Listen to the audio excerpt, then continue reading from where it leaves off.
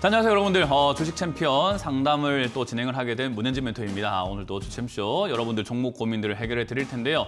2부죠. 어, 1부에 이어가지고 2부에서도 여러분들과 함께 하게 되었습니다. 오늘도 깊어지고 있는 그런 고민들을 저희가 시원하게 날려 드릴 테니까요. 1부에 이어서 2부까지 여러분들 계속해서 전화 주시면 되겠고요. 어, 1부에서 전화 주셨는데 내가 연결 안 됐다 하시는 분들도 저희가 2부에서 다 연결시켜 드릴 거니까 충분히 기다려 주시면 되겠습니다. 전화는 02-377 2번에 0269번으로 전화 주시면 될 것 같 고요. 어, 여러분들의 종목 고민들을 전화로 하기 힘드시거나 상황이 좀 여의치 않으신 분들은 유튜브 채팅창에다가 여러분들 종목명과 매수가 그리고 비중까지 올려주시면 저희가 상담을 해드리고 있으니까 많이들 올려주셔가지고 상담을 신청하시면 되겠습니다. 자 그러면 여러분들 고민들을요 뭐 시장은 아까 제가 일부에서도 봐드렸기 때문에 지금 여전히 똑같은 시장의 흐름을 보여주고 있습니다. 그래서 시장은 굳이 뭐 이야기할 필요가 없겠다 생각이 들어서 여러분들 한 분이라도 상담을 좀 많이 해드리기 위해서 제가 좀 말이 많잖아요. 그래서 어, 많은 분들 해드릴 수 없다 보니까 한 분이라도 해드리기 위해서 시장 설명을 좀 생략하도록 하겠습니다. 그럼 여러분들 종목 고민들을 계속 풀어가 볼 텐데요. 전화를 받으면서 2부에서도 바로 상담을 진행해 보도록 할게요. 전화 받습니다. 여보세요? 아, 네, 여보세요? 네, 안녕하세요. 문은진 멘토입니다. 네, 안녕하세요. 네, 어떤 게 궁금하세요? 네, 제로투 세븐 7,100원에 비중 5%요. 어, 7,100원의 비중 5%요? 네. 음, 그렇군요. 일단 어, 비중이 좀 작은 것 같아요. 제가 보기에는요. 음, 네, 좀 다른. 분들은 이제 비중이 좀 많아서 문제인데 지금 시청자님은 괜찮은 종목을 사셨거든요. 지금 이제 어떤 종목이 올라갈까를 우리가 모든 업종 중에서 막 이런 종목 올라갑니다, 저런 종목 올라갑니다를 맞출 수 있는 사람 아무도 없어요. 근데 어, 올라갈 게 좀 뻔히 보이는 종목들이 가끔씩 있어요. 그게 뭐냐면 제로투세븐과 같은 이런 저출산 관련주입니다. 그래서 저출산 관련주들은 지금 보면은 뭐 총선 전에도 그렇고 총선 후에도 그렇고 아마 저출산에 대한 이야기는 올해 화두가 될 수 있을 것 같습니다. 왜냐하면 지금 저출산 진짜 심각하잖아요. 그죠? 그래서 이거를 어떤 정치인이든 간에 해결하지 않으면은 이거는 문제가 커질 수밖에 없고 뭐 여당이라서 저출산을 뭐 내도 된다 뭐 뭐 야당이라서 저출산을 그럼 냅도 된다 이런 정치인들이 있다면 이거는 대한민국이 좀 망가지는 거겠죠. 그러다 보니까 아무도 그런 이야기를 못 할 겁니다. 그래서 저출산은 여야 불문하고 아마 해결하자라는 이야기를 할 거고요. 제로투 세븐이 지금까지 주가 움직임을 본다면은 내려오면 올라가고 올라가면 내려가고 하는 이런 박스권으로 움직이고 있는데 이 올라갔다 내려갔다 했던 모든 이유가 저출산 때문이었습니다. 그래서 저출산 관련 주로서 바닥에 내려오면 사놓고 올라가면 팔면 되는데 그 어떤 시대보다 저출산이 지금 심각해져 있기 때문에 사실 이거는 사서 가져가는데 저는 별로 부담 없다 생각이 들고요. 올라가는데 굉장히 이제 어떤 산업이 올라갈까는 우리가 정하는 게 아니거든요. 언론에서 정하는 거고 뉴스들이 정하는 거고 세력들이 정하는 거기 때문에 걔들이 스포트라이트를 딱 비췄을 때 올라가는 거지만 은 저출산 아까 말씀드린 것처럼 스포트라이트를 비추지 않는다고 하더라도 산업을 떠나서 어, 이런 아동용품 산업에 떠나가지고 이제 정책 관련주로서 움직일 수 있고 지금 우리나라 사회 문제 때문에 가지고 간다면은 저는 거의 뭐한뭐 주식 시장에서 뭐 절대라는 건 없지만 거의 뭐 98% 이상 수익 날 가능성이 높다고 봅니다. 그러니까 가져가는 데 있어 가지고 전혀 부담 없고 비중도 좀 좀 더 실어도 되는 종목이지 않나 생각이 들어요. 그래서 지금 5% 비중인데 저는 다른 종목 많아봤자 의미가 없다고 봐요. 그러니까 종목은 항상 말씀드리지만은 다섯 개 이상 가져갈 이유도 없고 한 종목을 많이 사가지고 그 종목으로 수익을 좀 많이 내고 나오는 게 맞다라고 보는 주의입니다. 그렇기 때문에 저는 제로투 세븐이 만약 제 돈이나 제 돈이라면 지금 한 10%대까지 비중을 늘려놓고요. 밑으로 내려갔을 때 6천 원 이하로 내려올 때 저는 한 비중을 한 20%대까지 늘릴 것 같고요. 만약 얘가 뭐 실적이라든가 이런 것들이 뭐 적자가 엄청나게 나거나 뭐 횡령이라든가 배임이라든가 이런 여러 가지 문제에 엮이지 않았는데도 불구하고 어, 주가가 뭐 한 4천 한 후반 때는 4천 한 중순까지 떨어진다면 저는 한 40%까지 비중 늘려가지고 그냥 가져갈 것 같아요. 음, 그래서 네, 네. 비중을 조금 더 증대시키는 방안을 선택하시면 될 것 같고 주가는 여기가 바닥이라는 보장은 없어요. 제가 아무리 그렇게 뭐 어, 제약 뭐 뭐냐 저 제로 뭐 저- 저출산 정책이 너무 좋아가지고 올라갈 것 같습니다라고 이야기한다 하더라도 여기서 버티다가 올라간다는 보장은 없고 내려갔다 올라갈 수 있는 거거든요. 그렇기 때문에 내려갔을 때에 대한 정책 전략을 잘 짜야 한다라는 거고요. 어, 많은 분들께서 이렇게 상담 방송을 보다 보면은 이게 이제 추천인 줄 알고 착각을 하시는 분들이 많아요. 제로투 세븐을 들고 있으니까 제가 제로투 세븐을 사라고 하는 거지 다른 수많은 종목 중에서 제로투 세븐이 가장 압도적으로 좋습니다. 이런 이야기는 아니거든요. 그래서 시청자님은 이걸 들고 있다 보니까 올바른 전략을 짜서 가지고 가져가면 되는데 많은 분들께서 좀 착각하시는 게 이걸 지금 사겠다라고 한다면은 글쎄요 굳이 서- 전략도 없으시면서 사실 필요가 있나라는 이야기를 한번 다른 시청자분들께 해드리고 싶네요. 어쨌든 시청자님 본인은 선택 잘하셨고 비중 한 10%까지 늘리시고 어, 내려가면 6천 원대 이하로 빠질 때 비중을 한 20%대까지 늘리시고 그러니까 두 배씩 늘린다 생각하시면 돼요. 이해가 되셨어요? 아, 네네. 네, 고맙습니다. 그래서 올라올 때까지 네. 저출산 이야기 나올 때까지 홀딩하시길 바라겠습니다. 자, 다음 상담 이어가겠습니다. 여보세요? 예, 여보세요? 네, 안녕하세요. 문현지 멘토입니다. 예, 안녕하세요. 네, 어떤 게 궁금하세요? 종근당 바이오. 동는당 바이오고요. 매수가랑 비중이요? 예, 3만 6천 원에 15%입니다. 3만 6천 원에 15%요. 예. 음. 어, 일단 종근당 바이오를 3만 6천 원에 15%를 사셨다면 이건 들고 갈 수밖에 없겠네요. 일단은 현재 상황에서는 어, 손절하기에는 손실금이 좀 크거든요. 예. 그래서 이거는 손절은 조금 이제 힘들 것 같고요. 어, 제약 바이오들 중에서도 종근당 바이오처럼 이렇게 어, 적자가 이렇게 조금 나고 있는 기업들이 있는데요. 적자가 이렇게 1, 2년 나는 건 괜찮아요. 어, 우리가 보면은 막 적자가 막 3년, 4년, 5년, 6년 이렇게 어, 지고 있는 적자 관련주들은 사실 사가지고는 약간 한 순간의 호재, 뉴스 이런 것들로만 주가가 어, 급등 나올 때 이득을 봐야 되거든요. 어, 죄송합니다. 근데 어찌됐든 그런 것을 감안해서 봤을 때 주가가 강하게 올라오는 형태가 이제는 위쪽에서는 호재 때문에 움직여진다라고 한다면은 어, 이렇게 바닥에 있는 종목들은 그런 적자를 떠나서 바닥에 있기 때문에 싸서 급등 나오는 경우들이 많아요. 특히나 요즘에 제약 바이오에 대한 어떤 어, 움직임들이 다시 또 조금 조금씩 꿈틀대면서 활발해지려고 하는 약간 시동 걸고 있다라고 해야 될까요? 기재기를 펴고 있다라는 느낌이 좀 많이 듭니다. 그래서 뭐 우리가 뭐 셀트리온이라고 하는 대형주부터 해가지고 뭐 한미약품이라던가 여러 가지 대형주부터 해서 조금 이렇게 시총이 작은 기업들까지도 요즘 급등이 좀 많이 나오고 있는 케이스예요. 그래서 그런 걸 감안한다면 종근당 바이오도 저는 들고 가면은 슈팅이 나올 수 있지 않을까 생각이 듭니다. 근데 이제 물론 이런 기업들을 여기서 반등이 나올 수 있다라고 해가지고 어, 추가 매수할까 이런 것도 고민하게 될 텐데요. 제약 바이오가 요즘 조금 이제 리스크가 뭐가 있냐 하면은 유상증자 리스크라든가 감자 리스크라든가 이런 재무제표를 수선하기 위해서 어, 쓰는 여러 가지 정책들이 좀 나올 수 있어요. 그래서 그걸 감안한다면 저는 추가 매수 메리트는 없다라고 생각이 듭니다. 그래서 추가 매수는 없이 그냥 홀딩해서 가져가시면 될 것 같고요. 어, 이거 반등 나오면 아마 좀 힘이 있는 기업이기 때문에 만족할 만한 수준일지는 그때 가서 알 수 있는 부분이지만 제가 보기에는 한 3만 한, 한 2, 3천 원대까지 반등이 나갈 수 있다고 보거든요. 그래서 반등 나갈 때 그때 매도하는 것을 보고 그까지 올라갈 수 있는데 왜 지금 추가 매수 안 되는지 방금 말씀드렸죠. 유상증 자라든가 여러 이슈 때문에 한번 출렁거리거나 밑으로 한번 밀릴 수 있기 때문에 만약에 추가 매수 한다면 지금 이 자리에서 밀렸을 때 하는 것이 맞다라고 봅니다. 그래서 지금 현재 자리 2만 원짜리가 2만 천 원짜리가 유지가 된다면은 추가 매수 없이 반등 나올 때 본전 정리하시면 될 것 같고요. 2만 원짜리가 무너지게 된다면은 그때 추가 매수를 하기 위해서 다시 한번 전화를 주시는 게 맞을 것 같아요. 네. 네, 지금 아무것도 안 하시고 그냥 들고 가시다가 요즘 바이오 쪽의 분위기가 나쁘진 않기 때문에 아마 상반기 쪽에서 흐름이 나올 가능성이 높습니다. 그럼 그 상반기 때 정리한다 생각하고 본전이 아니더라도 3만 원 이상 때는 어, 힘의 크기에 따라서 조금 힘이 세면은 본전까지 욕심내도 되고요. 힘이 없으면은 매도한다 생각하고 일단 거래량 기준으로 한 250만 주 이상이 좀 나와줘야 될 것 같습니다. 그래서 그거를 네. 참고하셔가지고 대응하시면 되겠습니다. 네, 네, 감사합니다. 네, 다음 상담 이어 가겠습니다. 여보세요? 여보세요? 네, 안녕하세요. 문현지 멘토입니다. 예, 수고하십니다. 네, 어떤 게 궁금하세요? 예, 롯데리츠 3,380원에 10% 가지고 있습니다. 3,380원에 10%요. 10%요. 예. 음.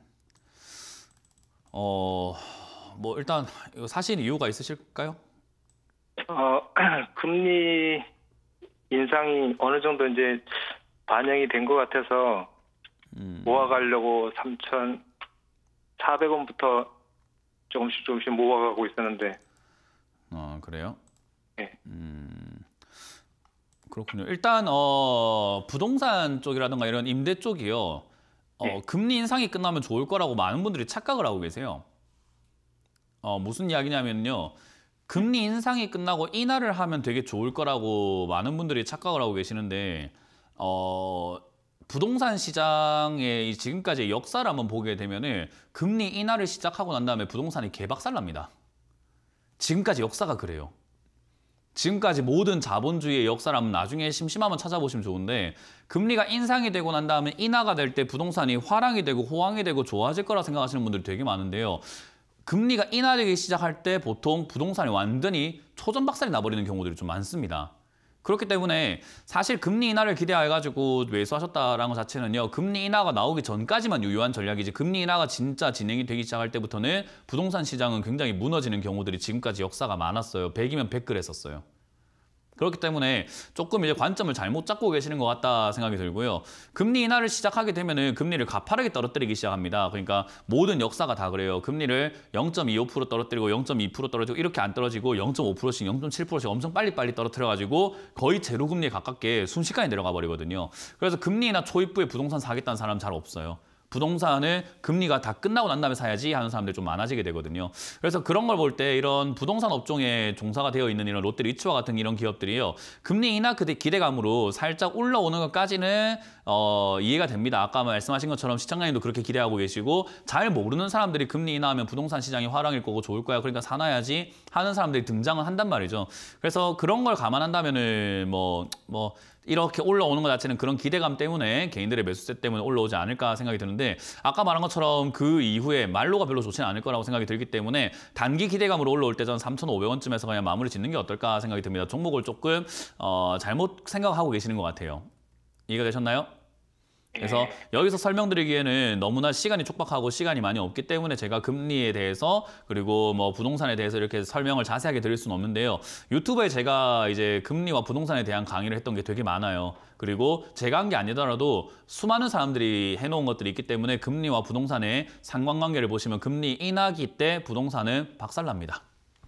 지금까지 그랬었어요. 그래서 이제 그런 부분들 감안해서 전 투자 전략을 짜시고 금리 인하되기 전까지 그 내용을 모르다 보니까 기대감으로 올라오는 경우들이 많은데 그때 지금 잘 정리하시는 것이 좋겠다. 저는 모아가는 관점보다는 매도하신 다음에 다른 종목 사시는 게 어떨까라는 전략, 전략을 드려보도록 할게요. 예, 알겠습니다. 다음 상담 이어가겠습니다. 여보세요? 네, 안녕하십니까? 네, 안녕하세요. 문현지 멘토입니다.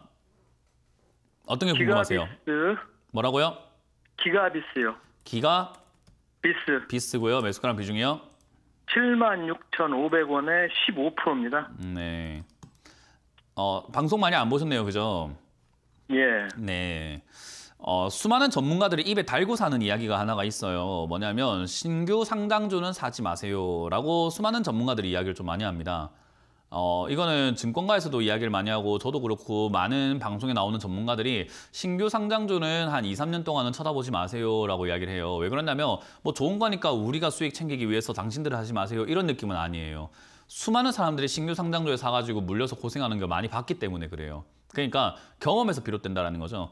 신규로 상장된 상장된 기업들이 뭐 없었던 기업이 갑자기 등장한 거다 보니까 초신성처럼 갑자기 확 등장한 거다 보니까 되게 좋아 보이고 뭔가 뭐 자동 광학 검사기, 반도체 기판 검사기 뭐 뭐 이런 이야기를 하다 보니까 어 정말 좋은 기업인갑다 이런 걸 조금 주가 빠졌을 때 사놓으면 되는갑다라고 생각하시는 분들이 너무나 많은데요. 어, 잘못된 투자 전법입니다. 그래서 저는 신규 상장주 사지 마라는 이야기를 계속 이야기해드리고 있고 오늘도 하게 될 줄 몰랐는데 하게 됐네요. 시청자님 덕분에요. 그래서 지금은 어, 이 신규 상장주들의 대처법은요 굉장히 간단합니다. 저점 무너지면 손절한다 생각하시면 돼요. 왜냐하면 어, 저점 5만 8천 원이 무너지고 나면요 이 종목이 어, 지금 형성되어 있는 저점이 무너지면 그 다음 저점으로 쭉 밀려버리는 경우들이 많아요. 왜냐하면 상장주들은요 상장될 때부터 그냥 고가기 때문에 비싸요. 그래서 여기서 이제 어떤 사람들은 그래요 비싼 종목 산다고 수익이 안 나는 거 아니다라고 이야기하는데 맞습니다. 비싼 종목 산다고 수익이 안 나는 건 아닌데 거기서 수익 내기가 만만치가 않아요. 왜냐하면 변동성이 굉장히 심하다 보니까 어, 우리가 이제 채팅창에서도 여러분들 조심하셔야 되는 게 비싼 종목 사도 괜찮다라고 하는 사람이 있으면 그 사람들은 차단 넣어 놓으세요. 왜냐하면 이게 내가 덤블링을 할 수 있다고 백덤블링 빡 할 수 있다고 해갖고 당신들도 할 수 있습니다라고 하는 건 위험한 문제입니다. 그러니까 내가 할 수 있다고 해서 남들이 할 수 있는 건 아니에요. 그러면 남들이 할 수 있는 그 안전한 매매는 뭘까라고 하면 평지에서 우리가 걸어 다니는 게 안전한 거지. 저기 옥상에서 그 장대 나무를 딱 놔둬놓고 외나무 다리 놔둬놓고 거기 아무나 나도 건너갈 수 있으니까 당신들도 할 수 있습니다. 무조건 땅으로만 가야 되는 거 아닙니다라고 하는 사람이 있다면 저는 무조건 차단입니다. 왜냐하면 자기가 잘한다고 해서 남들까지 잘한다는 보장은 없어요. 그 투자자들이 대부분은 주식 실력이 없기 때문에 고가 매매하면 거의 다 물려요. 그러니까 지금 시청자님은 여기가 저점이라 생각하셨겠지만 신규 종목들은 거의 고점입니다. 그래서 여기서는 대응 전략이 뚜렷하지 않거나 차트를 보면서 매일같이 내가 분석을 할 수 있는 사람이 아니라고 한다면 은 사실 수익 거의 안 난다고 보시면 됩니다. 그래서 저는 어, 누가 고점에 사도 수익 난다라는 사람이 있다면 무조건 반드시 차단 넣는 것을 추천드립니다. 시청자님도 앞으로 그렇게 하세요. 그냥 그런 사람이 있으면 보지 마세요. 고가에 사가지고 수익 낼 수 있는 것을 자기들이나 수익 내고 어, 매매하는 사람들, 뭐 펀드 매니저라든지 저희와 같은 사람들이 수익을 낼 수 있는 거지 어, 일반적인 사람들은 수익 안 납니다. 그렇기 때문에 오히려 이런 거는 저점 무너질 때 5만 8천 원 무너질 때가 손절하시고 깔끔하게 마무리하시는 걸 추천드리고요. 여기가 지지가 된다면 신규 상장 테마가 보통은 장이 안 좋을 때 시장이 안 좋을 때 돈이 갈 데가 없다 보니까 이런 신규 상장주 쪽으로 막 몰려 들어오는 경우가 케이스가 가끔 있어요. 그러면 지금 시장에 만약에 조정이 들어간다면 은 얘가 5만 8천 원짜리가 이렇게 무너질 듯 하다가 여기서 반등 나와가지고 급등 나와서 아마 본전까지 올라가는 케이스들도 어 가끔씩 생길 수는 있거든요. 그건 진짜 운이에요, 운. 그건 진짜 운이 따라주면 그렇게 될 수 있습니다. 그렇게 되면 은 본전 정리하시길 바라겠고 그거 아니면 5만 8천 원짜리 무너지면 정리하시고 비싼 종목 사지 마세요. 그리고 특히나 신규 상장주는 절대로 접근하지 않는 것을 추천드려 보도록 합니다. 아시겠죠? 예, 잘 알겠습니다. 자, 상담 잠시 쉬어가고 있는데요. 제가 뭐, 뭐 말씀드릴 게 있어서 그런데요. 여러분들 고가 매매라는 것은 하지 마세요. 고가 매매 절대로 하지 마세요. 누가 하라는 있으면 무조건 무시하세요. 고가 매매는 여러분들이 할 수 있는 영역이 아닙니다. 우리 운전하시는 분들 보면 왜 드리프트 하시는 분들 있죠. 운전 선수들 드리프트 진짜 멋지게 기깔나게 해가지고 주차도 아주 멋지게 딱 하게 되는데 우리가 일상생활에서 그걸 할 수 있는 사람이 몇 명이나 있을 거며 일상생활에서 누가 합니까? 그러니까 드리프트 할 수 있는 경주하는 운전기사가 나와가지고 당신들도 드리프트 할 수 있습니다. 도로에서 아무나 드리프트 하세요. 라고 하는 사람이 있다면 그 사람은 조금 문제가 있는 사람 아닐까요? 여러분들 조심하세요. 매매는 여러분들 실력으로 할 수 있는 게 절대로 아닙니다. 그렇기 때문에 고가 매매는 수익이 안 나는 매매가 아니라 위험한 매매고 할 수 없으면 굉장히 다칠 수 있는 매매라는 것을 반드시 경각심을 가지시고 대응하시면 되겠습니다. 자, 다음 상담 이어가겠습니다. 여보세요? 여보세요? 네, 안녕하세요. 문현지 예, 멘토입니다. 안녕하세요. 네, 어떤 게 궁금하세요? 반갑습니다. 아, 반갑습니다. 어떤 게 궁금하세요? 네요요. 어떤 거요? 네오위주. 네오위즈고요. 어, 매수가랑 비중이요? 네, 비중은 10%고 매수가는 23,800원이요. 음, 이거, 이거, 왜 사셨을까요? 그러니까 금방 들어갔다 나오려고 한 것이 이렇게 돼버렸어요. 주식은요 단기적으로 단타 쳐가지고 돈 벌었다는 사람 본 적 있으세요? 막 슈퍼게임이가 됐다라던가 어, 단타 해가지고 내가 뭐 엄청나게 뭐 갑부가 됐다던가 뭐 이런 사람 본 적 있으세요 혹시? TV를 보거나 없어요. 책을 보거나 있는 것 같아요 없는 것 같아요? 없는 것 같아요. 맞아요 저도 본 적이 없어요. 단타를 네. 통해 가지고 내가 갑부가 됐다는 사람 아무도 못 봤어요. 단타를 통해 가지고. 그냥 소액벌이가 좀 되고 그냥 뭐 돈 좀 벌었다라고 하시는 분들 보면은 번 것도 없고 이런 것도 없는 사람들이 대부분이에요. 그 왜가 왜냐하면은 짧게 보고 들어가 가지고 돈을 번다라는 개념이에요. 돈이 안 벌리는 개념이에요. 그래서 네, 예. 수많은 투자 고수들이 장기로 가져가세요라고 이야기를 정말 많이 하시거든요. 네. 장기로 가져가세요. 멀리 보고 투자하세요. 샀다 팔았다 막 시세 노름에 놀아나지 마시고 이 회사가 괜찮다 싶으면 그걸 사가지고 그냥 전념을 다해서 그냥 그 종목을 들고 가는 게 맞습니다. 종목 많이 사지 마세요. 이런 이야기 정말 네. 많이 해요. 슈퍼개미들은요. 근데 네. 슈퍼개미들은 자기가 돈을 번 노하우를 그렇게 알려주고 있는데도 불구하고 우리는 뭐 하냐면 잠깐 들어갔다가 나올, 거, 나올 거예요. 뭐 잠깐 들어갔다가 단타 칠 거예요. 이렇게 이야기를 해요. 그러니까 그러니까요. 돈을 벌 수가 없는 매매를 하고 있다는 거예요. 그게 우리가 아까 네. 이야기했던 시세 가지고 노는 매매는 고점에서 하는 매매고 그런 걸 이제 scalping이라고도 표현을 하고 뭐 분봉이라던가 틱봉이라던가 여러 가지 시세 거래량을 본다거나 여러 가지를 보면서 매매하는 것들을 단타 기법이라고 하는데 단타 기법은 우리가 고점에서 하는 매매 기법이에요. 그러니까 이렇게 내려왔을 때 주가가 내려온 상태에서 단타로 들어가겠다라고 생각하는 것은 굉장히 리스크가 커요. 이런 거는 네. 다음에는 짧게 들어갔다 나온다 생각하지 마시고 주가가 싸다고 네. 해서 무조건 사면 안 돼요. 이렇게 급락을 하거나 폭락을 하는 그런 기업, 그런 기업들은 문제가 있어서 빠지는 경우들이 많기 때문에 다시 올라올 네. 때까지 생- 상당히 오래 걸립니다. 그래서 제가 저점이라고 해서 싸다고 해서 무조건 사라는 건 아니거든요. 그러니까 네. 싸지만 괜찮은 기업이고 올라갈 수 있겠다 싶은 종목을 모아가고 시간을 들여서 우리가 공을 들이는 거지 아무 때나 그냥 뭐 싸니까 그냥 사가지고 공 들이면 되겠지 이렇게 생각하시면 좀 문제가 있습니다. 그래서 어, 이런 네오위즈와 같은 이런 자리들이 잠깐 들어갔다 나오기는 힘든 자리였다고 생각하시면 되고요. 네오위즈가 네. 회사 나쁘진 않거든요. 네. 근데 이게 이제 너무 과하게 올라왔기 때문이라 생각하시면 되고요. 2023년이 사실은 어, 이 게임계가 별로 좋지 않았던 시절이에요. 그래서 게임 네. 관련주의 가장 큰, 큰 특징이 뭐냐면요. 변동성이 굉장히 커요. 어, 아직까지도 주식계에서는 게임주는요, 우량한 기업이라고 생각하지 않아요. 게임주는 그냥 게임주일 뿐이다. 그래서 우리 일반적으로 어르신들도 보면은 자녀들이 게임한다고 하면 게임하지 마라! 이러잖아요. 그죠? 게임 좀 네, 그만해라. 이러잖아요. 게임에 대한 인식이 아직까지 우리나라는 대한민국이 별로 안 좋아요. 금융 쪽에서도 그렇게 어, 게임을 뭐 탐탁치 않게 여긴단 말이에요. 그래서 어, 네. 제일 먼저 이 손실 냈을 때 손절하는 우선순위로 봤을 때 게임주로 손절을 좀 많이 합니다. 그래서 네. 증권사에서도 리스크 해지라고 하잖아요. 리스크를 회피하기 위해서 지수가 좀 빠질 때 어떤 종목을 손절할까 하면은 제일 먼저 어떤 종목을 한다고요?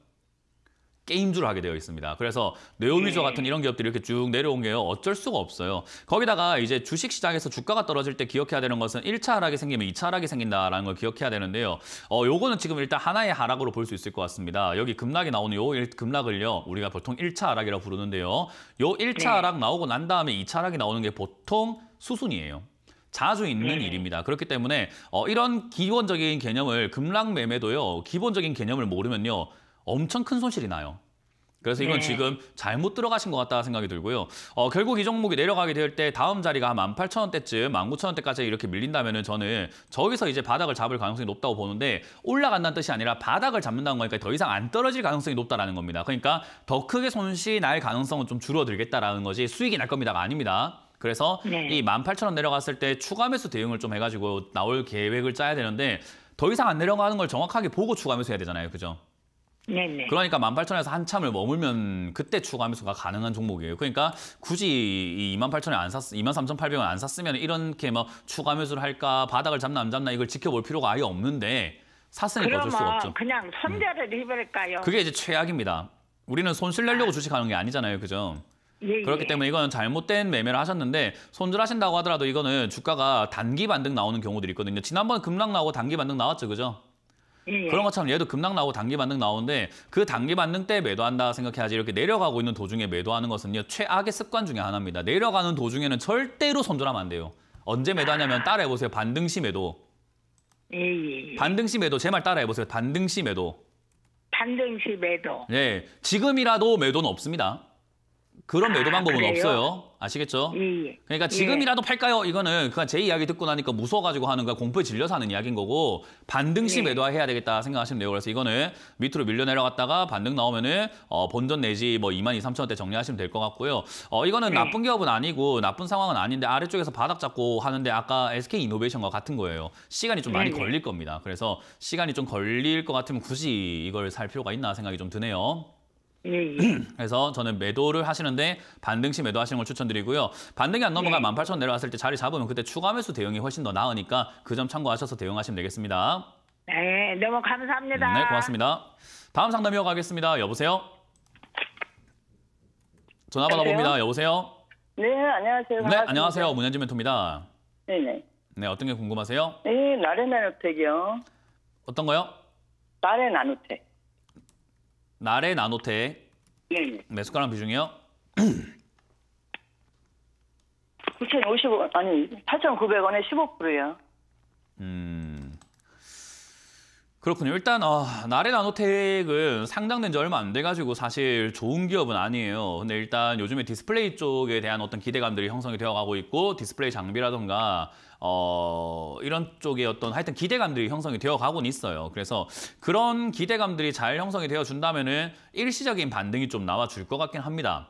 어, 이것도 제가 이제 신규 상장들은 왜 저점 무너지면 손절해라라고 하냐면 저점 무너지면 여기 위에 다시 올라오기가 되게 힘들어요. 그래서 저점이 깨지고 난 다음에는 밑으로 쭉쭉 내려가는데 이거는 이제 7,000원대가 무너지면서 다시 저점을 깨버린 상태가 상태가 된 거죠. 그럼 이 저점 깨고 내려간 5,400원짜리가 지금 저점인가 바닥을 잡은 자리인가라고 하면은 사실 5,400원짜리가 바닥 잡은 자리까지는 아니라는 겁니다. 그래서 이 자리가 바닥인지 아닌지는 조금 더 지켜봐야 될 부분인 것 같고요. 이 5,400원짜리만 마저 무너지게 된다면 그 다음 하락 자리로 또 내려가게 될 텐데 그 러면 더 깊게 빠질 수도 있지 않나 싶습니다. 그래서 저는 이건 단기 반등 때 빨리 정리하고 나가자. 어, 지금 이렇게 움직일 기미가 그래도 살짝 살짝 윗꼬리가 걸려 있는 걸 보니까 그래도 움직일 기미가 살짝 보이는데 얘가 단점이 뭐냐면 움직일 기미는 있지만요. 주식수가 막 이렇게 아직까지 상장되고 난 다음에 엄청나게 많이 풀려나온 기업은 아니라서 품절주 특징을 좀 갖고 있어요. 그래서 얘가 어, 장점이자 단점인 게 한 번 올랐다가 바로 빠져버리는 케이스들이 생길 겁니다. 그게 이제 품절주의 특징이거든요. 그래서 이게 올라가려고 꿈틀거린 건지 품절주라서 꿈틀거린지는 아직까지는 좀 미지수입니다. 그래서 저는 좀 더 기다리자라는 의견을 드릴 거고요. 분위기가 아까 말씀드린 것처럼 디스플레이 쪽에 아직까지 관심이 좀 있고 지금 기대감들이 형성이 되어가고 있는 데다가 OLED라든가 이런 쪽에 기대감 형성되어가고 있고 여기서 이제 품절주의 특징까지 좀 잘 갖춰진다면 그리고 아까 설명해드렸지만 신규 상장주들이 장이 안 좋을 때 좀 수급이 쏠리는 현상이 있다 보니까 그런 것들이 잘 어우러져 가지고 삼박자가 잘 맞아 가지고 슈팅이 나온다라고 한다면 저는 뭐 한 8천 원 내지 9천 원까지 이렇게 한번 일시적으로 좀 강하게 올라올 수 있다 봐요. 저는 그때 그냥 바로 정리하시는 걸 추천드릴 수 있을 것 같아요. 네. 어, 근데. 그렇다고 해서 네. 지금 올라갈 가능성이 해서 추가 매수하기에는 아직까지 바닥이 아니기 때문에 추가 매수는 없이 가져가자라는 의견 드리고 추가 매수 안 해도 본전 탈출할 만한 정도의 상승은 나올 가능성이 높으니까 그냥 들고 가도 괜찮다는 전략을 드릴게요.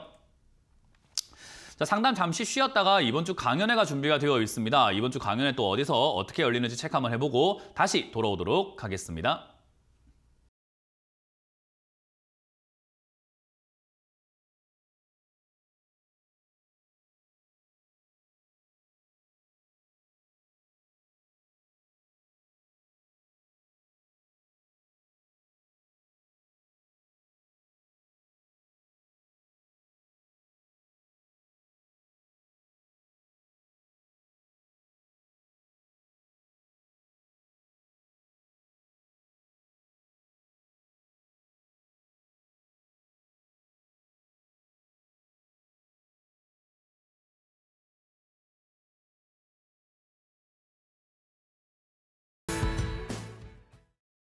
네, 이번 주 강연 잘 보셨죠? 이번 주는 제가 광주와 익산으로 갈 겁니다. 그래서 광주에서 여러분들과 함께 또 김대중 컨벤션 센터에서 여러분들과 강의를 오후 1시에 준비했으니까요. 많이들 와주시면 좋을 것 같고요.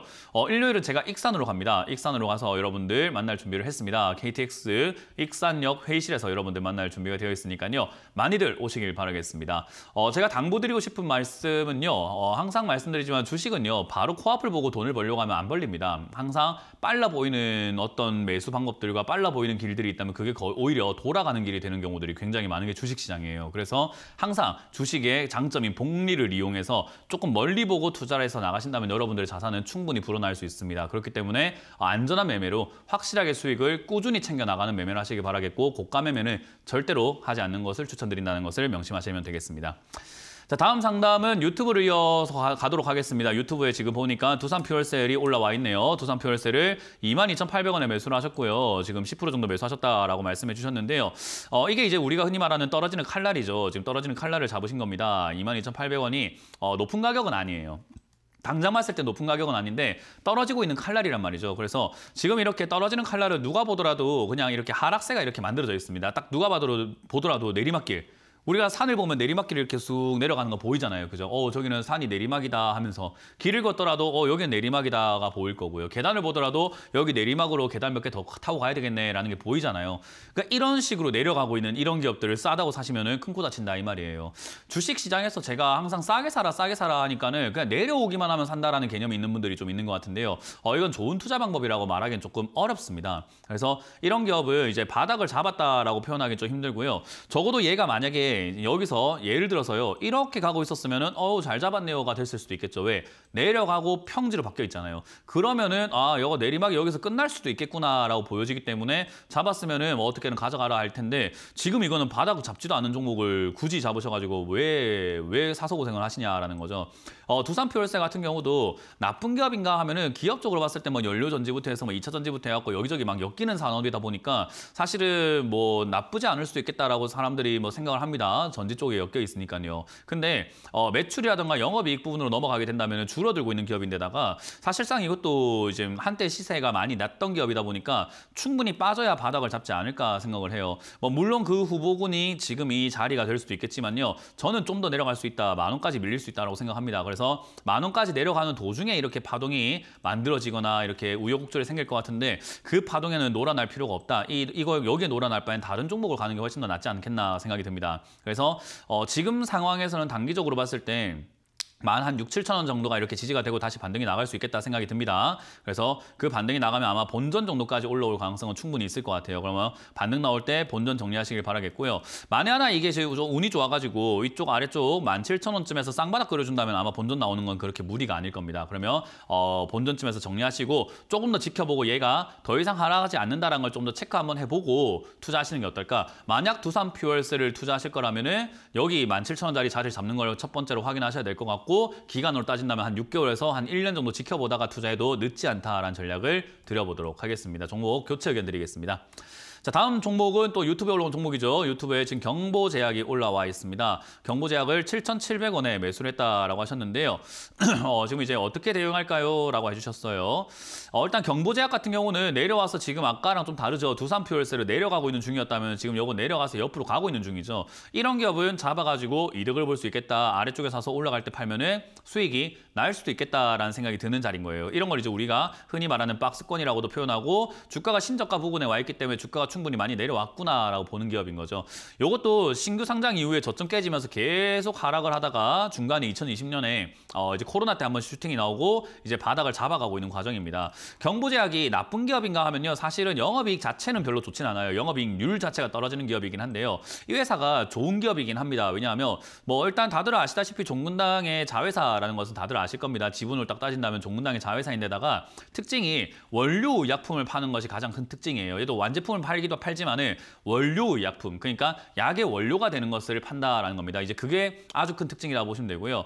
약 제약 쪽은 이렇게 실적이 좀 잘 나오는 기업들과 어, 실적이 나오는 기업들과 이렇게 약간 어, 경영이라고 할까요? 영업 활동이 같이 이렇게 엮여 있는 기업들은요, 충분히 올라갈 가능성이 높다고 봅니다. 그래서 저는 이거는 그냥 7,700원이면 그렇게 높은 가격은 아니기 때문에 그냥 들고 가셔도 괜찮다 생각이 들고요. 여기서 만약에 또 조금 떨어진다고 일희일비 하실 거면은 이건 투자 관점의 문제입니다. 이거는. 늘 말하지만 투자는 멀리 보고 하는 거예요. 그냥 그래야지 여러분들의 자산이 불어납니다. 어, 항상 말씀드리지만은 내가 지금 뭐 빨리 돈 벌고 싶은데요 해가지고 돈이 잘 안 벌리는 게 주식시장이에요. 그렇기 때문에 조금 멀리 보고 가져가시는 걸 추천드려보도록 하고요. 경보제약은 좋은 기업이기 때문에 저는 이 자리에서 그냥 이 정도 비중으로 들고 가도 괜찮다 생각이 들고 비중이 부담된다면 반등 시 조금 비, 비중을 한 5% 정도 비중을 줄이셔서 15%대까지만 가져가시면 좋겠고요.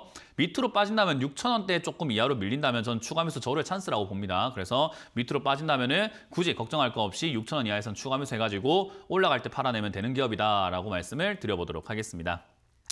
자, 다음 상담은 전화를 받아보도록 하겠습니다. 전화 받습니다. 여보세요? 여보세요? 네, 안녕하세요. 문현지 멘토입니다. 네, 반갑습니다. 네, 어떤 게 궁금하세요? 현대이하고요. 현대위하고요. 매수가랑 비중이요? 6만, 6만 6,500원. 15%. 아, 그렇군요. 일단 참 주식 상담을 제가 10년 동안 해보면요. 개인 투자자들은 참 목소리도 다르고 성별도 다르고 나이도 다른 것 같고 사는 지역도 다른 것 같고 살아온 환경도 다른 것 같은데 전부 다 똑같은 자리에 사서 물려서 전화 오구나 싶어요. 그냥 그게 매일같이 똑같은 자리에 사는 이유가 뭘 공부했든 간에 이런 자리에 산다라는 거예요. 그게 뭐냐면 잘 샀거든요. 현대위아 나쁘지 않거든요. 기업도 좋고 나쁘지 않은데 네. 차트를 딱 보시면 빨간 선에 사신 거예요, 지금. 예. 6만 6천 원이 빨간 선인데 아니 이왕이면 여기 사면 좋지 않았냐는 거죠. 5만 원대 사시면 좋았지 않았을까요? 이거 좀 내놨는데. 내린 거라도 내렸다는 건 더 충격적인 문제인 거고요. 네. 음, 내려서 이 정도라는 건 문제고 그러니까 내릴 이유도 없이 그냥 내려왔을 때 사면 되지 않았냐라는 거예요. 제 말은. 네. 내려서 이 정도입니다가 문제가 아니라 내려왔을 네. 때 샀으면 참 좋지 않았겠느냐. 이게 지금 딱 보니까 그냥 5만 원짜리쯤에서 버티고 있고 여기서 버티고 있으니까 여기 마- 내 맞으면 올라가고 맞으면 올라가는데 내려갔을 때 사면 될 거를 왜 올라갔을 때 사가지고 이렇게 고생드릴까라는 거예요. 저는 항상 이야기하는 네. 게. 그래서 네. 내려왔을 때 좋은 기업은 내려왔을 때 저점 지키는 걸 확인하고 사도 괜찮다라는 이야기를 하고 현대위아가 같은 기업들은 저기가 저점이 아니라 하더라도요. 만약에 밑으로 좀 빠진다고 하더라도 영업이익이 계속 성장을 해 나가고 있는 기업이기 때문에요. 돈 잘 버는 기업이 주가가 빠진다면 저는 나쁘다 생각하지 않습니다. 내려올 때 비중을 더 실어가지고 더 많이 사가지고 가지고 가져가면 되는 기업이 되는 거예요. 그래서 저는 여기가 지금 5만 원짜리가 무너질 것인가 하면은 저는 안 무너질 것 같다는 생각이 듭니다. 지금 현재로서는요. 그래서 네. 지금 여기 들고 가시면 아마 7만 5천 대 이상 올라가는 어, 상승세를 한번 볼 수 있겠다 생각이 드니까 그대로 홀딩하시면 되겠다 생각이 들고요. 만에 하나 5만 원 무너지면 보통은 저점 무너지면 손절할 자리가 맞는데요. 이 종목은 종목 자체, 이 종목 자체 역사를 보면 저기가 저점은 아니에요. 그러니까 뭐 고- 깊이 해야 되는 손절해야 되는 저점까지는 아닙니다. 그래서 저는 차라리 그냥 장기 투자로 가져가는 게 낫지 않을까. 그래서 3만 5천 원 무너지면 비중을 40% 내지 50%까지 늘리는 것이 훨씬 더 좋은 전략이 될 거라고 봅니다. 그래서 네. 내려가면은 비중을 좀 더 많이 실으셔가지고 어, 기다린 만큼 올라갈 때 수익을 좀 많이 보면 좋잖아요, 그죠? 네. 그러니까 그렇게 비중을 늘리는 게 좋다. 지금 이제 추가 매수를 함부로 하지 마시고 3만 5천 원짜리 정도까지 혹여나 밀리게 된다면 은 그때 전화 통화를 한번 더 주시고 주- 어, 비중을 한 40% 내지 50%까지 늘리는 걸 추천드리고요. 지금은 그냥 들고 가셔가지고 올라올 때 7만 5천 원 이상 노려보자는 전략을 드려보도록 할게요. 예, 고맙습니다. 네, 고맙습니다. 다음 상담 이어가겠습니다. 여보세요? 네, 여보세요? 네, 안녕하세요. 문현지 멘토입니다. 네, 안녕하세요. 네, 어떤 게 궁금하세요? 메디톡스 30%예요. 아, 비중은 매수가는요? 17 17만 천 원이요. 음, 이걸 사신 이유가 뭐가 있을까요? 아, 며칠 전에 급락해서 손이 나가가지고 잘못 어, 조금 보통 사놨 던 보- 게 있었는데 어, 빠지길래 추가 매수를 많이 해버렸어요. 보통 급등 나왔을 때 따라 붙는 경우들이 많은데 네. 이렇게 급락 나왔을 때 따라 붙는 경우는 잘 없거든요. 제가 좀 나쁜 습관이 잘 안 고쳐지네요. 어, 그렇습니까? 음. 아휴. 어, 그거를 반드시 고쳐야 돼요. 고치지 않으면 뭐 이제 그냥 지금 뭐 얼마로 투자하고 계시는지 모르겠고 어떻게 모으신 돈인지 모르겠지만 아마 시장이 쉽게 날려 먹으실 겁니다. 아마 이 습관 안 네. 고쳐지면은 그냥 이제 나는 그냥 돈을 날릴 수밖에 없는 운명이구나라고 생각하시고 습관 안 고쳐지면 빨리 주식을 접으시는 게 맞아요. 예, 예. 뭐냐면 어 이게 좋아서 떨어진 건 아니잖아요, 그죠? 네네. 최근에 뉴스를 지금 이렇게 간, 간단하게 본다고 하더라도 메디톡스가 지금 미국 FDA에서 보툴리늄 톡신 품목 허가 신청이 거절당했거든요. 네네. 그러니까 그게 승- 신청이 승인될 거라 생각하고 주가 올라갔는데 거절당했으니까 주가가 당연히 빠지는 게 맞는 거예요.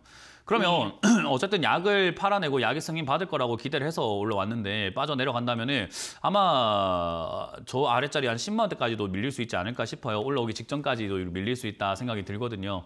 그래서 이게 네. 우리가 흔히 말하는 떨어지는 칼날이라고 불러요. 네. 음, 떨어지는 칼날을 나도 모르게 추가하면서 막 덜컥 이렇게 많이 해버리게 된다면 당연히 문제가 생기겠죠. 안, 안 해야 될, 안 했으면 좋을 행동을 하신 거잖아요. 그죠? 네네. 뭐 이렇게 되면은 사실 뭐 무슨 전략을 짜드리긴 되게 힘들고 시청자님이 듣고 싶은 이야기는 뭐 위로라던가 이런 걸 하시 뭐 사실 들으면 좋긴 좋은데 위로를 하기도 참 어려운 상황이잖아요. 그죠? 그러니까 이게 어, 참 너도 안 좋고 나도 안 좋은 상황이 돼버린 거예요. 상담자도 안 좋고 상담하는 사람도 안 좋고 그러니까 어, 이런 거는 지금 좀 안타깝게 됐습니다. 그냥 이건 뭐 대응 전략 짜기가 되게 까다롭고 그냥 안타깝게 됐다는 말이 첫 번째고요. 두 네. 번째로는 그냥 10만 원까지 내려가는 거 냅둬야 됩니다. 왜냐하면 메디톡스라는 이 회사가 실적이라던가 영업이익이라던가 이런 것들이 나쁜 기업은 아니거든요. 실제로요. 네네. 그래서 보톡스가 전 세계적으로 이제 우리나라에서도 그렇지만은 뭐 미용 목적으로 사실은 많이 맞잖아요. 그죠? 네. 그래서 미용 목적으로 많이 맞는데 저도 이제 보톡스를 맞아본 경험이 있습니다. 그 보톡스를 맞으니까 어 이제 해외 걸 맞을래요, 국산 걸 맞을래요 물어봐요. 네. 음 그러면 저는 어떤 걸 맞았을까요? 국산 걸 맞았을까요? 외국 걸 맞았을까요? 잘 모르시겠죠, 그죠? 모르겠습니다. 그 맞으러 네. 안 가시면 모르시는데 거의 외국 걸 맞아요. 그러니까 아, 외국 게 더 좋아요. 뭐 가보니까 내성 부분에 있어가지고 뭐 그런 이야기가 있더라고요. 한국 거는 내성이 금방 생겨가지고 어, 내성이 생길 수 있는 리스크가 있는데 외국 거는 이제 그렇지 않다라는 그런 이야기가 있더라고요. 그래서 네. 가격도 외국 게 비싸요. 한 두 배 정도 비싸요. 아, 예. 음, 그러니까 이제 그런 걸 봤을 때 우리나라 시장에 이제 보톡스 시장에 얘들이 잘 침투해가지고 외국 거보다 한 절반 정도 거- 저렴하다 보니까 국산을 맞는 분들도 많이 있죠. 그래서 그런 것들을 이제 선호하시는 분들도 있지만 뭐 내성 문제라던가 이런 여러 가지 문제들 때문에 사실 외국 거를 맞는 사람들도 되게 많아가지고 어 뭐 문제긴 해도 어쨌든 얘들이 시장 침투가 잘 되어 있어가지고 영업이익과 이런 매출은 잘 나오고 있습니다. 그래서 이게 이제 FDA에서 승인 받았다면 미국 시장도 진출할 수 있었을 텐데 그게 안 되다 보니까 미국에서도 이제 싼 보톡스를 맞는 걸 좋아하는 사람들이 있을 거 아니에요. 비용적인 부분이 아무리 또 부담이 되다 보니까. 그러다 네네. 보니까 그런 사람들이 있었을 텐데 그런 기대감이 없어서 그렇지 없어져서 그렇지 실제로 국내 시장의 침투가 좀 잘 되어 있습니다. 네. 그래서 뭐 보톡스를 뭐 평생 매일같이 맞을 건 아니기 때문에 저도 뭐 한 한 번두번 맞고 지금까지 안 맞은 것 같아요. 그러니까 어 굳이 그럴 거면 싸게 맞아도 되지 않았나 싶긴 생각은 하거든요. 네. 막 자주 맞을 건 아니었으니까 어떻게 보면. 그러니까 그런 걸 본다면은 이제 얘들의 메리트는 분명 가격 메리트가 있다라는 거죠. 그 제품에 대한 가격 메리트예요. 그래서 저는 10만 원까지 내려가면 사실 나쁜 기업은 아니라고 봐요 그러니까 10만 원까지 내려갔을 때 추가 매수를 했어야 되는데 지금 너무 서둘렀다라는 것이 장- 가장 큰 네. 단점이고요 어 얘가 내려가고 난 다음에 FDA에서 승인이 거절됐다라고 한다면 그 약은 사실은 다시 신청 넣기가 조금 까다로울 겁니다 새로운 걸 만든다던가 다른 아. 국가에서 어, 승인을 좀 받거나 해야 될 것 같아요. 그래서 재신청을 하기 위해서는 좀 더 뭔가 검증 단계도 좀 많이 필요하기 때문에 사실 다른 국가에 신청을 넣어서 승인받으려고 하지 않을까 그러면 내려가면 다시 올라올 그런 가능성은 분명히 있다고 봅니다. 그 약을 갖다 버리진 않을 거거든요. 네. 음, 그래서 내려가게 되면 올라갈 수는 있을 것 같은데 어, 그때까지 고통을 좀 많이 받으셔야 될 것 같습니다. 안타깝네요. 네. 네. 네, 이거는 왜 추가 매수했는가 정말 정말 뼈저리게 아유. 후회하셔야 될 것 같습니다. 네네. 네, 그래서 이거는 어, 예상치 못하게 단기 급락이 나오면 단기 급등이 나오기 때문에 예상치 못하게 여기 어딘가에서 갑자기 급등 나와서 단기 기술적 반등 나온다면은 저는 전량 매도하시거나 비중 빨리 줄이셔가지고 저점에 다시 들어간 형태로 공략해 보시는 거 어떨까 하는 조언을 드려보도록 할게요. 조금 반등 시 손해를 보더라도 어, 여기서 만약에 하고. 기술적 반등 나오면 아마 16, 7만 원대까지는 올라와 줄 수 있거든요. 여기서 갑자기 좀 내려간다 하더라도 기술적 반등이 상 나오면은 보통 한, 한 2, 30%대 상승이 나오기 때문에 한 17만 원대까지 올라갈 수 있습니다. 그럼 본전에 아. 나올 수도 있으니까 일단 반등 나오는 힘을 좀 보고 판단을 해야 될 것 같아요. 이런 거는 급락 나오고 보통 어, 한 달 이내에 반등이 나가는 경우가 많기 때문에 한 달 지나버리면 반등이 좀 늦어지고 밑으로 많이 빠지겠구나 생각하고 마음을 좀 비우시면 되고요. 한 달까지는 그 반등을 좀 노려보시는 게 좋을 것 같아요. 아시겠죠? 자, 다음 상담이어 가도록 하겠습니다. 전화 받습니다. 여보세요? 네, 여보세요? 네, 안녕하세요. 문현지 멘토입니다. 네네네. 네, 어떤 게 궁금하세요? 그, 갤럭시 모니터리 13,600원에 20%요. 14,600원이요?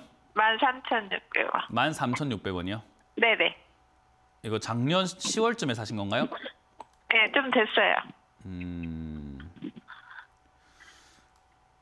네, 아, 이걸 어떻게 해야 되나, 그 손절을 해야 되나요? 아니면 그냥 가지고 가야 되나요? 음. 일단 어, 손절해야 될까 가져가야 될까라는 질문 안에 앞서 가지고 이렇게 투자 안 하시는 거 어떨까라는 조언을 먼저 드릴 겁니다. 아, 네네. 어, 최악의 투자를 하고 계시는 거거든요. 이게 제가 항상 아, 예. 고점 투자를 왜 하지 마라고 이야기하고 뭐 채팅창이라던가 누가 고점 투자해도 된다는 이야기 했으면 그 사람 말 무시해라, 뭐 차단해라, 그 사람 외면해라 이런 이야기 왜 하냐면은 네네. 어, 증시가 이렇게 망가지고 우리 개인 투자자들이 고통받고 있는 이유가 다 그런 이유들 때문이에요. 그러니까 자기가 좀 잘한다고 해갖고 으스대면서 남들한테 너도 할 수 있다라고 착각을 한 거 저도 단타 많이 해요. 저도 고가 매매 아. 많이 하고요. 이런 뭐 네. 갤럭시아 모니터리처럼 올라온 자리에서 매매도 많이 하고 스캘핑도 하고 해요. 근데 제가 네네. 한다고 해서 시청자님한테 하라고 하진 않고 다른 네. 시청자분들에게 당신들도 단타할 수 있습니다. 고가 매매할 수 있습니다라는 이야기는 안 해요. 그러니까 저도 급등 나온 종목으로 매매를 많이 하거든요. 예전에 네. 전업을 할 때 급등 나온 종목으로도 매매하고 그렇게 많이 했었어요. 그게 저한테는 되게 쉬운 일이에요. 왜냐하면 하루 종일 주식 볼 수 있고 저는 맨날 보고 있는 차트가 맨날 보는 거니까. 대응도 빠르고 손도 빠르고 판단도 빠르기 때문에 결단력도 빠르고 하기 때문에 저는 아무렇지 네. 않게 매매를 하고 저는 완전 놀이터 같아요 거기가. 근데 아, 시청자님들한테 사실 그건 아니잖아요. 그죠? 그건 저는 고도로 숙련이 되고 열마가 되고 연습을 많이 했기 때문에 경험을 했고 배웠기 때문에 가능한 거잖아요. 그죠? 네네. 근데 이 TV에 나온 전문가 분들뿐만 아니라 이 사람들이 지금 다 경각심을 좀 가져야 될 것 같은 게 자기가 네. 할줄 안다고 남들한테 고가 매매를 추천하는 건 전 좀 문제라고 봅니다. 이거는 내가 할 줄 아는 거지 사람들이 대응을 할 수 있는 건 아니거든요. 그러니까 이게 지금 시청자들뿐만 아니라 투자하는 모든 계좌들을 망가뜨리고 있는 걸 잘 모르고 있는 것 같아요. 그거를 지금 좋다고 또 옹호하는 사람들도 저는 좀 문제가 있는 사람들이라고 보고 있고요. 잘하는 건 알겠고 자기가 잘하는 건 알겠는데 그렇다고 네. 해서 남까지 죽일 필요가 있냐라는 거죠. 남들은 못한다 이거예요. 시청자님도 이런 아, 네. 위험해요. 하지 마세요. 이런 거 급등 아. 나왔을 때 누가 추천하든 막 수익 날 수 있다라고 하든 그거 하지 마세요. 정말 위험한 매매예요. 어, 그래서 이거는 저는 늘 강조해드리니까 차라리 그냥 어차피 여기 사서 고점에 사서 도 물리잖아요. 그죠? 네네네. 그러니까 밑에 사서 물리라 이 말이에요. 그러니까 차라리 밑에 사서 물리면 갑자기 올라올 때 팔수라도 있지. 이거는 지금 뭐 할 거예요? 어떻게 할 거예요, 이거? 아, 그러니까 이런 거 좀 하지 마시고 방송에서 누가 급등 나온 거 추천하면은 아우 저 사람은 잘해서 추천하겠지만 나는 안 되겠다고 안 하는 게 맞다 이 말이에요. 아, 그럼 어떻게, 음, 어떻게 그래서 이거 저기 그걸 반드시 기억하시면 좋겠고요. 이거 지금 네. 대응 전략이 많이 없어요. 왜냐하면 시청자님이 대응할 줄 모르는 사람이잖아요, 그죠? 나 그, 그 사실은 대응 전략이 딱히 없어요. 그 시원한 대답을 해드릴게요. 지금 이거 답 없어요. 네. 왜냐하면 답. 왜 답이 없냐면 시청자님 때문에 답이 없어요. 어, 운전을 할 줄 아는 사람한테 자동차를 때려 박았을 때 어떻게 할까 하면 자, 그 후진해서 차를 뺍시다라고 할 건데 운전할 줄 네. 모르는 사람이 어떻게 할 거야 물어보면 일단 내리세요가 맞잖아요. 아, 그러니까 이게 지금 시청자님한테는 제가 보기에는 아, 답안 나온다라는 생각이 들고요. 제가 드리는 전략이 절대적인 전략은 아닙니다만은 어쨌든 네. 지금 이 자리에서 이까지 이렇게 흘러갔다면 시청자님은 그건 각오하시고 손절하시는 게 맞는 것 같은데 8천 원 무너질 때 손절하시거나 반등이 나온다면 그냥 만천 원 이상에서 빨리 그냥 매도하시는 게 딱 좋거든요. 근데 얘가 네. 기업적인 부분이 다행스럽게 나쁘진 않아요.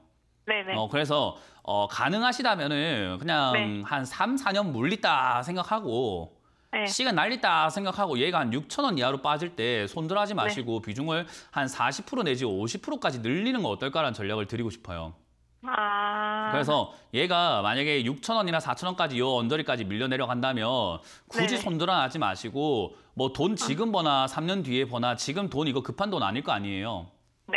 그러니까 어, 지금 벌어도 좋지만 그냥 3년 뒤에 번다, 4년 뒤에 번다 생각하고 한 6천 원 이하로 빠질 때, 4천 원 이하로 네. 빠졌을 때 그때 추가 매수한다 생각하고 그냥 왕창 물리자 이 말이에요. 그냥 어차피 너무 아. 고점에 사서 답이 안 나오니까. 아, 그래서 손실 내느니 손실 네네. 내면 그거 어디서 돈 벌 수 있는 자신감도 없으실 거고 확신도 없잖아요. 그죠? 네네. 그래 돈 날리면 큰일 나니까 그래서 그럴 바에야 팔지 말고 그냥 네. 고점에 사긴 했으나 밑에 내려왔을 네. 때 4천에서 5천 원, 6천 원 이렇게 내려오면 그때 추가 매수 한번 해볼 건데 그때 전화를 한번 더 주세요. 그리고 네. 아. 그때 만약에 추가 매수 할 거면 지금 다른 종목 신규 매수 하지 마시고 현금 들고 네. 있는 거 절대 쓰지 마시고 갖고 있어야 되는데 어느 정도까지 비중을 마련해야 되냐면요. 현금을 한30% 마련해 놓으세요. 아, 네. 4, 4천 원까지 내려갈 때 현금을 네네. 30%까지 마련해 놓으셔야 되고요. 저기까지 내려갔을 때 그렇게 마련해야 탈출이 거의 가능할 것 같습니다. 만약에 얘가 운이 좋아서 지금 뭐 STO 뭐 토큰 이야기도 많이 나오고 있고 요즘에 비트코인도 많이 올라가고 있잖아요. 얘가 그런 쪽으로 네. 엮이거든요. 가상화폐 이런 쪽으로 엮이기 때문에 그런 쪽으로 엮여가지고 만약에 일시적으로 올라와서 12,000원까지 만약에 올라와 준다면은 저는 12,000원대라도 비중을 빨리 줄이시거나 매도하시는 걸 추천드릴 거고 이런 매매 다시는 하지 마세요. 아, 네, 알겠습니다. 음, 네, 고맙습니다. 감사합니다. 다음 상담 이어 가겠습니다. 여보세요? 안녕하세요. 네, 안녕하세요. 문현지 멘토입니다. 팬입니다. 안녕하세요. 아유, 감사합니다. 네, 어떤 게 궁금하세요? 카카오 게임즈고요. 네. 29,500원에 10%예요. 음, 2만? 29,500원에 10%예요. 네. 아, 뭐 카카오 게임즈는 제가 상담할 때마다 안 좋은 이야기를 해가지고 뭐 참 씁쓸한 종목 중에 하나예요. 이 종목은 별로 좋은 종목은 아니거든요. 일단 네. 카카오 게임즈라고 하는 이 회사가 이제 게임 개발 업체냐라고 하면 그건 아니고 게임 개발한 것들을 유통해주고 publishing해주는 그런 어, 기업이다 보니까 어, 전체 산업군 그러니까 게임 산업 자체가 조금 이렇게 빠지게 된다면 얘들이 돈이 안 벌리는 구조를 갖고 있어요. 예를 들면 네. 우리가 그 마트 같은 데 가보면 마트 안에 식당 많잖아요. 그죠? 네네. 마트 안에 보면 이렇게 쇼핑 보고 난 다음에 식당 가가면 식당 여러 가지 식당들이 들어와 있어요. 근데 마트 네. 자체 손님이 줄어들면 거기 식당에 장사하는 사람들 좀 어때요? 안 되죠. 안 되잖아요. 그러니까 네. 어, 이런 전체적인 분위기를 우리가 좀 잘 따라가야 되는 게 이런 게임 산업 중에서도 카카오 게임즈인데요. 카카오 게임즈가 지금 이렇게 빠지게 된 케이스가 2022년과 2023년이 게임기에는 약간 불황기예요. 그러니까 신작도 없고 뭐 새로운 게임도 없고 만들어진다 하더라도 흥행하는 게임도 없고 이러다 보니까 게임이 좀 안 좋은 상태가 되었는데 올해부터 만들어지고 있는 게임들과 출시하는 게임들이 굉장한 게임들이 좀 많이 나오고 있거든요. 막 나올 거고 네. 내년까지도 지금 출시 예정작들이 저도 기대가 되고 어 저도 요즘에 할 게임이 없어갖고 그냥 뭐 요즘에 책을 읽고 이렇게 보내고 있지만은 저의 거의 유일한 취미는 게임이에요. 네. 그러니까 컴퓨터 게임부터 해서 이런 걸 너무 좋아하다 보니까 게임을 좋아하는데 요즘 할 게 없어요. 네. 그 정도로 지금 게임 산업이 주춤해요. 그래서 이걸 돌파하려면 게임 산업이 다시 한 번 더 부흥하려면 새로운 신작이 많이 나와야 되고 흥행작들이 좀 나와야 되는데 아마 올해부터 내년까지는 지금 기대가 되는 흥행, 흥행 작부터 해가지고 좋은 게임들이 많아질 것 같아요. 그때 얘가 이제는 어, 움직일 수 있을까 싶은데 어, 네. 게임이라는 게 그래요. 신작이 나왔는데 뭐 막상 해보니까 재미없을 수 있잖아요. 그죠? 네. 문제가 많을 수도 있고 그렇기 네. 때문에 그게 흥행을 해야지만 얘들이 올라가요. 네, 그렇죠. 흥행하지 않으면은 약간 주춤거리다 떨어지고 주춤거리다 떨어지고 하면서 게임 산업이 지금 계속 아, 부흥이 안 되고 있기 때문에 아마 바닥에서 좀 많이 고통 받을 겁니다. 카카오 게임즈를 투자하셨다면요. 게임 산업 네. 자체가 부흥하기를 좀 기다리셔야 될 것 같고 그거는 아마 내년쯤 돼야 되지 않을까 싶어요. 그럼 내년까지 어떻게 해야 되냐면 물려 있으세요, 그냥. 네. 네, 어쩔 수가 없어요. 내년까지 카카오 네. 게임즈 사시는 분들 어, 저는 참 안타깝습니다. 안 샀으면 좋겠는데 사셔가지고 고통을 좀 받고 있네요. 네. 근데 네. 어쨌든 게임 산업 다시 올라갈 가능성이 높다고 보고 있고요. 2만 원짜리 네. 자리는 자리 잡을 거라고 저는 보고 있습니다. 그래서 네. 이거는 아마 1년 정도 좀 충분히 지켜보시면 2만 원에서 한 3만 원까지 왔다 갔다 할 텐데 그러면 2만 원에서 3만 원까지 왔다 갔다 할 때 3만 원 좀 매도하셔가지고 2만 원에 가깝게 매수가를 맞추는 작업을 좀 하시는 게 좋을 것 같아요. 그래서 네. 3만 원까지 올라오게 되면은 본- 비중을 절반 정도 줄이시고 다시 2만 네. 원까지 내려가 면은 비중을 절반 정도 늘리시고 해가지고 매수가를 네. 낮춰놓고요. 만에 하나 네. 15,000원까지 내려간다면 비중을 저는 한 두 배 정도 늘리는 것도 좋다고 봅니다. 왜냐하면 게임 네. 산업이 망가지지는 않을 거예요. 네. 그래서 15,000원까지 혹여나 빠지게 된다면은 추가 매수를 좀 과감하게 해서 한 두 배 정도 20% 내지 한 20원 5%까지 비중을 늘리는 걸 추천드리고요. 고통은 좀 받으실 거라는 거 기억하세요. 다른 게임 산업보다 좀 늦게 올라올 겁니다. 네. 네, 그렇게 가져가시길 바라겠습니다. 고맙습니다. 자, 이렇게 오늘 상담을 마무리 지어 볼 수 있을 것 같은데요. 제가 오늘 뭐 여러분들께 말씀드린 내용 꼭 기억하셨으면 좋겠습니다. 고가 매매는 잘하는 사람들이나 하는 거지 우리가 일반적으로 할 수 있는 매매는 아니기 때문에 어, 시청자분들께서 고가 매매는 항상 경각심을 가지고 실력을 키우고 하시거나 아니면 저점 매매를 하시는 것을 추천드린다는 거 기억하시면 되겠습니다. 자 이렇게 오늘 상담 마무리 지어보도록 하고요. 두 시간 동안 열심히 달렸는데 상담 못하신 분들은 내일도 신청받으니까 내일도 시청해 주시길 바라면서 물러가겠습니다. 자 저는 물러가겠습니다. 지금까지 문현지 멘토였습니다. 고맙습니다.